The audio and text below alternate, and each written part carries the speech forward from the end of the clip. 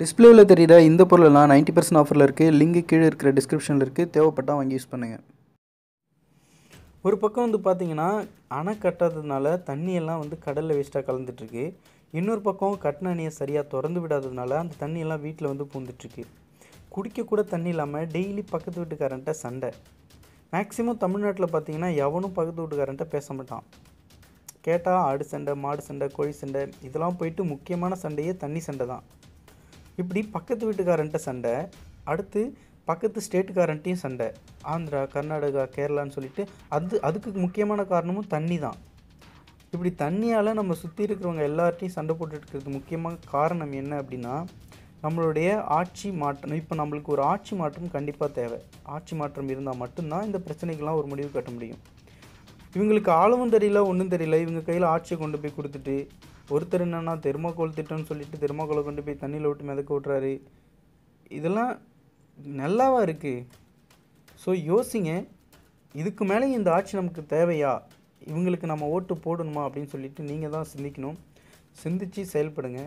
அதுக்கு முன்னாடி இந்த ஒரு வீடியோவையும் பார்த்துக்குங்க. நன்றி. வணக்கம் நண்பர்களே. நீங்கள் பார்த்துக்கிட்டு இருக்கிறது வந்து தமிழ்நாட்டில் உற்பத்தியாகி கேரளாவில் சும்மா ஆற்றுல கடலில் போயிட்டு கறக்குது. இது ஒரே ஒரு ஆறை தான் காட்டுறேன் இது மாதிரி ஒரு ஏழு எட்டு ஆறு வந்து இந்த தண்ணியை வந்து ஆற்றுல போய் கடலில் போகுது வேஸ்ட்டாக இந்த தமிழ்நாடு அரசியல்வாதிகள் ஆந்திராவிலையும் கர்நாடகாவிலையும் கேரளாவிலையும் கெஞ்சிக்கிட்டு கிடக்குறானுங்க. இவனுங்க என்ன பண்ணணும்னா இந்த தண்ணியை வந்து இங்கேருந்து ஒரு எட்டு கிலோமீட்ரு சுரங்கப்பாதை அதாவது மெட்ரோ ரயிலுக்கு போட்ட மாதிரி போட்டால் ஒரு எட்டு கிலோமீட்டர் போட்டால் மாயார் ஆற்றுல போட்டு கலைச்சிடலாம் அந்த தண்ணி வந்து நேராக பார்த்தீங்கன்னா பவானி சாகர் அணையில் கலந்து சத்தியமங்கலம் ஈரோடு திருப்பூர் கோவை மாவட்டம். நாலு மாவட்டத்துக்கு தண்ணி பஞ்சமே இருக்காது. கேரளாவை கர்நாடகாவை ஆந்திராவை கஞ்சவனம். தமிழ்நாடு அரசியல்வாதிகள் மண்டையில் புத்தி ஏறுறது வர நம்ம நண்பர்களை வந்து இதை ஷேர் பண்ணுங்கள் ஷேர் பண்ணிட்டு தயவு செஞ்சு லைக் பண்ணுங்கள் இதை வந்து கண்டிப்பாக வந்து ஒரு ஒரு மக்களும் நீங்கள் அதை புரிஞ்சுக்கிட்டு இதை வந்து தமிழ்நாட்டு மக்களும் தமிழ்நாட்டு அரசியல்வாதிகள் எப்படி ஏமாத்துறாங்கிறத மட்டும் பாருங்கள் எவ்வளவு தண்ணி? பத்து டிஎம்சி தண்ணிக்கு மேலே வேஸ்ட்டாக போய்கிட்டு இருக்குது கேரளாவுக்கு. ஆனால் கெஞ்சினான். கர்நாடகா ஆந்திராவில் போயிட்டு கர்நாடகா ஆந்திரா கேரளா கிட்ட போயிட்டு கெஞ்சினான் ஆனால் அவனுங்க வந்து இந்த தண்ணி இவ்வளோ தண்ணி கேரளாவுக்கு வேஸ்ட்டாக போய் கலந்துக்கிட்டு இருக்கு. இவனு அவங்க வண்டையில் ஏறுறது வர. நண்பர்கள் வந்து இதை ஒரு லைக் கொடுங்க.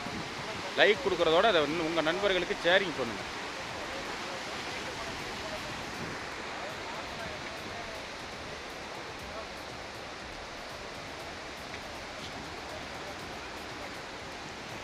Subscribe to our channel and press the bell icon for the latest.